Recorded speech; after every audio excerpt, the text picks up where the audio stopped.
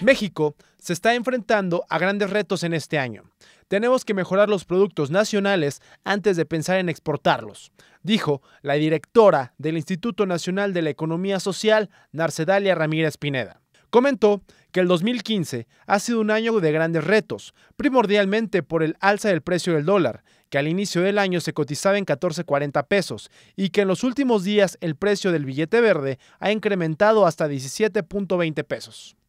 La funcionaria federal comentó que es malo el incremento del dólar porque la compra de la materia prima aumenta. Dijo que la política del INAES es fortalecer primero al sector local para que en un futuro se piense en exportar los productos mexicanos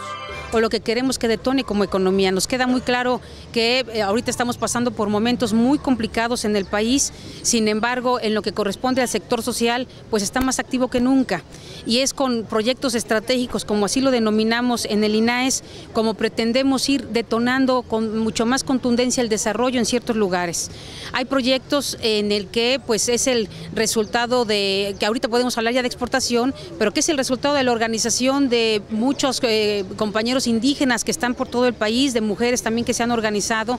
de tal suerte que es solo darse la oportunidad, no tan solo como población que se organice, sino también como gobierno, a que uno quiera entrar en alguna región y detonar los sectores que tanto se necesitan. Inevitablemente quienes ya incursionan a mercados eh, fuera de lo local, tiene que tener alguna influencia. Sin embargo, lo que estamos apostando es a la producción eh, meramente local, de, tal forma que primero quiero llamar esa atención antes de, incursionar a mercados que signifique con pago en dólares o, o atravesar otros mercados, pero queremos irnos para allá. Comentó que uno de los grandes retos que atraviesa el instituto es la reducción económica que recibirá el INAES para el próximo año. Afirmó que en este año se trabajó con 73 millones de pesos para impulsar a los diferentes productores nacionales y que en el 2016 la dependencia tendrá que ver de qué manera consiguen más fondos para que los apoyos federales sigan su curso. Pues mire, hemos estado trabajando en el, en el transcurso del tiempo, en este 2015, pese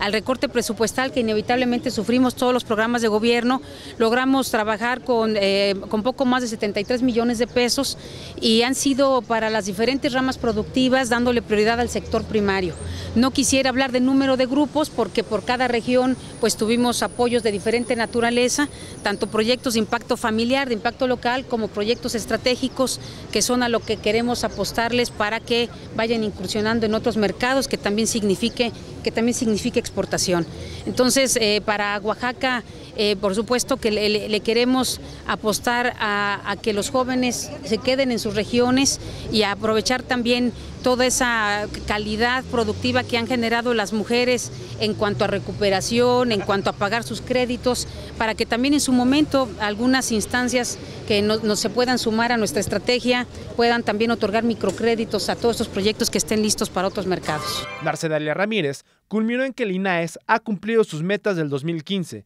y espera que en el 2016 el número de apoyos a productores aumente en todo el país. Con imágenes de José Antonio Reyes, para MPM Televisión informó Joshua Ramos.